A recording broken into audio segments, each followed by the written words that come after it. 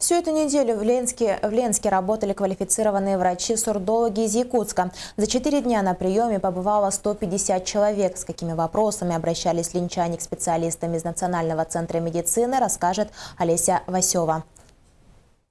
Сурдолог – врач узкой специализации. Он занимается диагностикой, лечением, а также профилактикой заболеваний, нарушающих слух.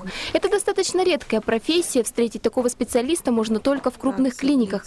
Из узконаправленного учреждения, которое относится к Национальному центру медицины, в Ленск приехали два специалиста. Цель – провести осмотр и дать рекомендации определенным категориям населения Ленского района. Это лица пожилого возраста, инвалиды по слуху, детское население и льготники. Проводим исследование слуха на аудиометре. Подбирается, э, ставится диагноз. И, и на месте совместно с лор-врачами э, Верой Ивановной Ивановой. И нам очень хорошо помогает ее медсестра Татьяна Семеновна Семенова. Мы с ними уже обсуждаем вопрос о направлении э, пациента на инвалидность.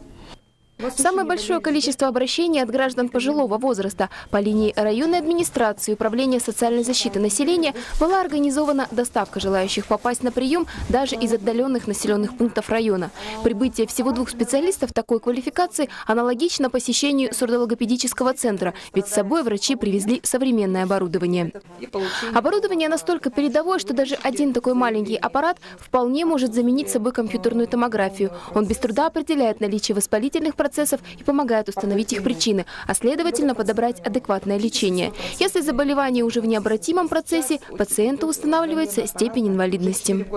После установления инвалидности э, для данной категории граждан полагается бесплатное слухопротезирование, а также техническое обеспечение это э, входит в перечень, входит бесплатный телевизор э, для людей с большой потерей слуха, бесплатно сотовый телефон, сигнализаторы для квартир.